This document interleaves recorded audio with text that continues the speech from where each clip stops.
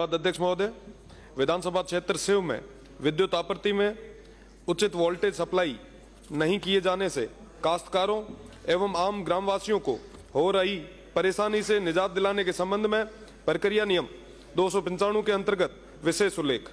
निवेदन है कि मेरे विधानसभा क्षेत्र शिव में काश्तकारों एवं आम ग्रामवासियों को सुचारू रूप से विद्युत आपूर्ति नहीं हो पा रही है।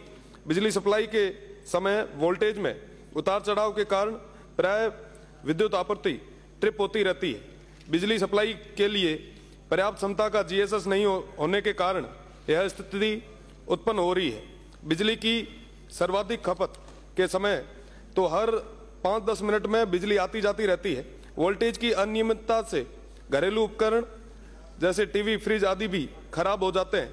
निर्बाध आपूर्ति और उपभोग के अनुरूप वोल्टेज नहीं मिलने के कारण काश्तकारों और क्षेत्रवासियों को भारी परेशानियों का सामना करना पड़ रहा है। मेरा राज्य सरकार से आग्रह है कि विधानसभा क्षेत्र शिव में उपरोक्त समस्या का स्थायी समाधान करने हेतु संबंधित जिम्मेदार को सख्त निर्देश प्रसारित करें तथा पर्याप्त क्षमता के जीएसएस का निर्माण कराया जाए ताकि स्थानीय जनता को इस समस्या का स्थायी समाधान मिल सके। धन्यवाद।